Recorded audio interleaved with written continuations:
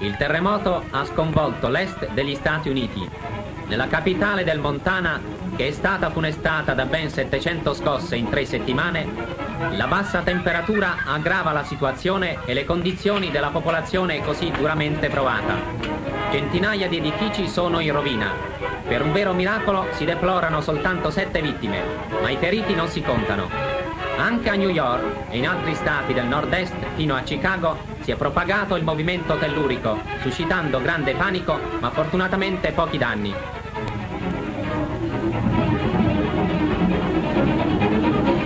Nella città maggiormente colpita si è verificato un esodo della popolazione. Centinaia di persone abbandonano le loro case e le proprietà sotto l'incubo del ripetersi del fenomeno. Quelli che rimangono provvedono ad abbattere le rovine pericolanti e si preparano a ricostruire la capitale del Montana.